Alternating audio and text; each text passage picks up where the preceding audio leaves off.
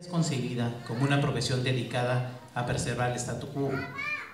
El trabajo de los abogados, en cualquiera de sus modalidades, asesor legal, juez, funcionario público, litigante, se concibe como una forma de mantener el orden social existente a través de ayudar a que las normas jurídicas vigentes se cumplan.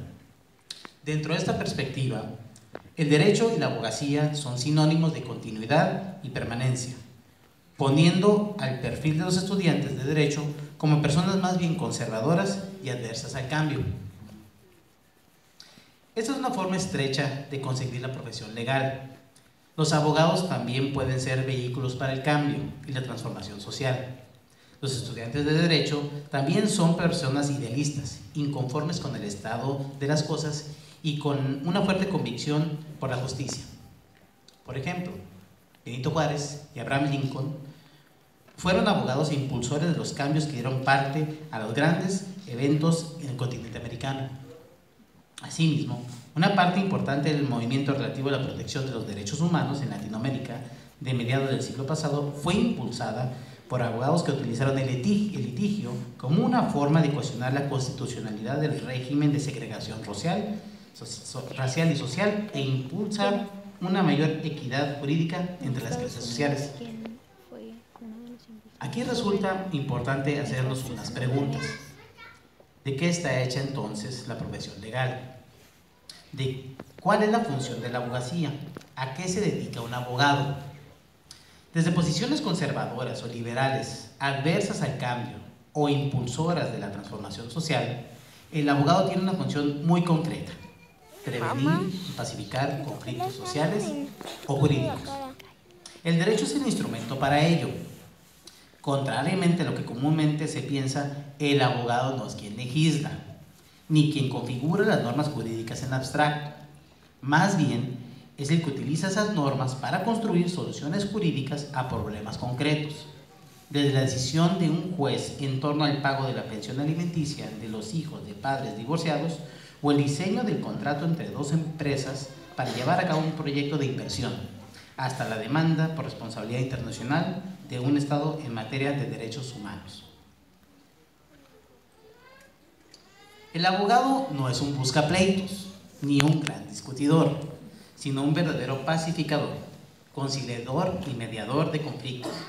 El abogado sabe escuchar y entender la posición de su adversario, defender lo que le parece correcto y buscar la, la conciliación de posiciones, abrazar con convicción lo que considera justo y ético en cada caso su principal función es lograr que las relaciones jurídicas entre personas o con la autoridad sucedan con el menor número de conflictos posibles y que los que existen se pacifiquen en forma efectiva y duradera.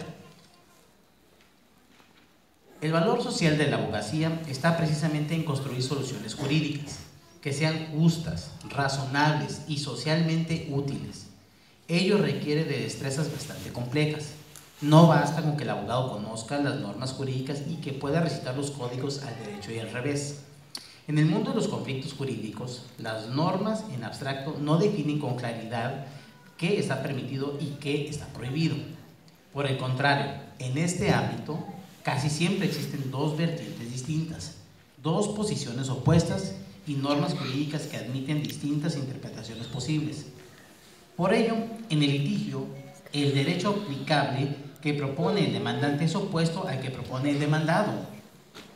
Y ambos se construyen desde el mismo sistema jurídico.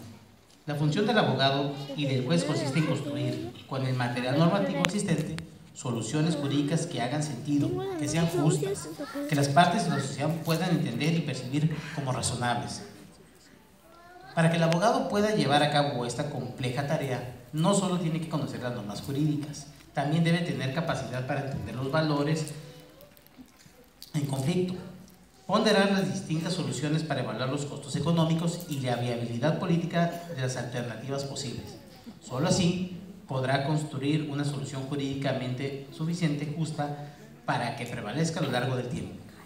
Lograr exitosamente esta amalgama entre el derecho en abstracto y la justicia en concreto es lo que hace increíblemente interesante y desafiante el ejercicio de la profesión legal. En México, durante el siglo pasado, se gestó una forma de conseguir el derecho que alejó a los abogados y jueces de este papel. Las prácticas jurídicas se caracterizaron por su formalismo y legalismo extremo. La función del juez o del abogado debería estar alejada de, de consideraciones axiológicas, sociales o económicas, no acostumbrados, por tanto, a soluciones jurídicas o decisiones judiciales que el sentido común calificara de absurdas, injustas o ineficaces. También nos acostumbramos a pensar que el mundo de lo jurídico era un mundo reservado a la comprensión de los expertos, por lo que tales soluciones o decisiones eran incuestionables. Bajo este formalismo jurídico, la creatividad y la innovación quedaron fuera de la profesión legal y de nuestras prácticas jurídicas. El México democrático de nuestros tiempos necesita acercar el derecho a la justicia, a la igualdad y al sentido común. Se requiere una profunda transformación de las prácticas jurídicas para ello, hay que formar a las nuevas generaciones de abogados que puedan abrazar el valor social de la abogacía y comprometerse con su papel de transformadores del statu quo. El desafío para la educación legal es enorme, pero el reto mayor está en la cancha de quienes hoy deciden ser licenciados en Derecho. Los problemas relacionados